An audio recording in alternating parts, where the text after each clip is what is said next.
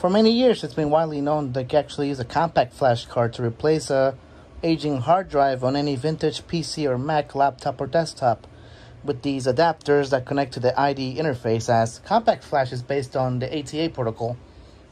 So right here, this is the adapter for 2.5 inch drives and the other one for 3.5 inch drives.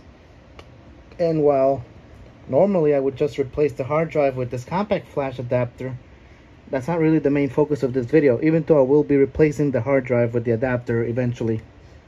And you can see right there, this is a Macintosh PowerBook 1400 CS, and you can actually look up in the forums, and they do say that you can actually boot a compact flash card on a PowerBook straight from a PCMCIA card adapter.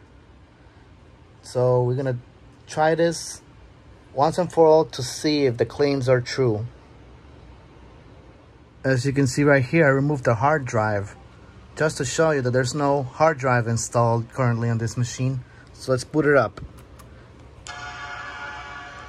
And now we wait for the question mark folder to show up.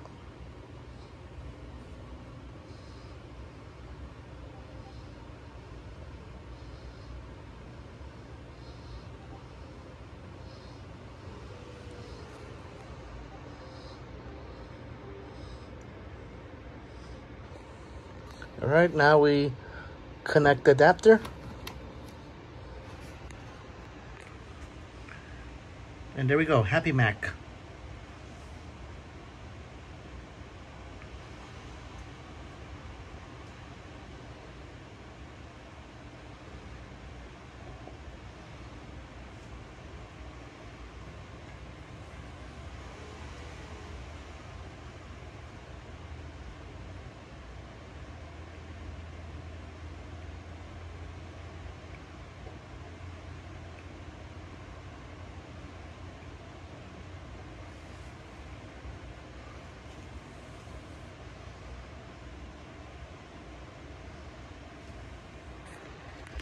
So it does boot a lot faster than it did with the original hard drive. That's one thing for sure. And here we are. Let's go to About This Mac.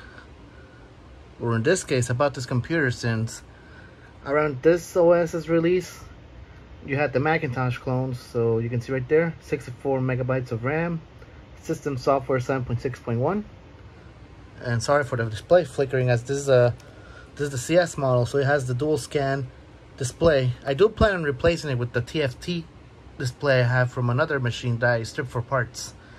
Right here, you can see that the that the icon for the drive is actually pretty much different.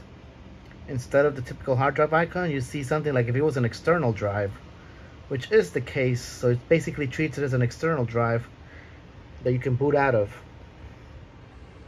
And you can just run your typical Macintosh software. So let's shut this down and it's gonna do one extra neat thing when you're done with this machine. So this is a great way to test a vintage PowerBook if you don't know if it has an OS or a hard drive installed using your own adapter and a compact flash card with the OS pre-installed.